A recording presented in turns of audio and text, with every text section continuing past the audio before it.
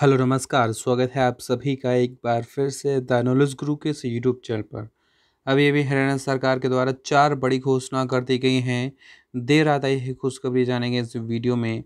तो मुख्यमंत्री कार्यालय की ओर से आई है बड़ी घोषणाएँ, बड़ी खबर। तो विस्तार से जानेंगे।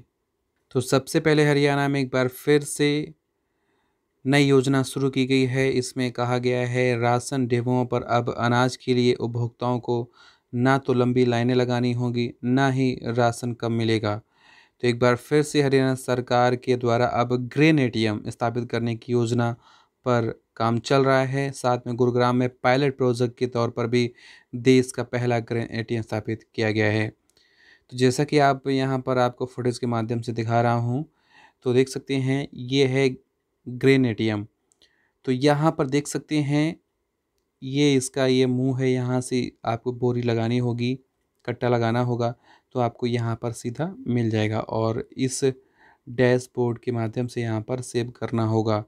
तो सबसे पहले यहाँ पर गुरुग्राम में इसे स्थापित किया गया है और वहीं और भी ज़िलों में इसे जल्द ही स्थापित किया जाएगा।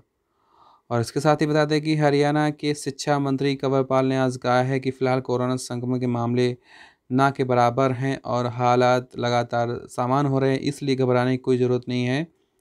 अभिभावक निश्चिंत होकर के अपने बच्चों को स्कूल भेज सकते हैं, यहाँ पर कहा है इन्होंने।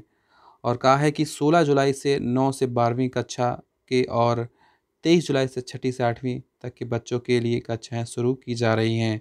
और वहीं पहले से पाँचवीं कक्षा तक के बच्चों के लिए स्कूल खोलने पर अभी कोई भी विचार नहीं किया गया है और कहा है बच्चों को स्कूल भेजने के लिए अभिभावक भी यहाँ पर कोई सर्वे किया जाएगा।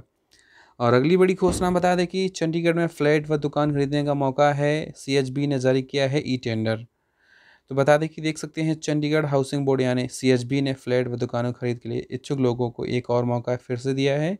इस बार ई टेंडर अड़तीस रेजिडेंशियल लीज होल्ड और एक सौ इक्यावन कमर्शियल प्रॉपर्टी के लिए निकाला गया है। तो ये बड़ी अपडेट आ रही हरियाणा के द्वारा। तो इस वीडियो में इतनी जानकारी, धन्यवाद।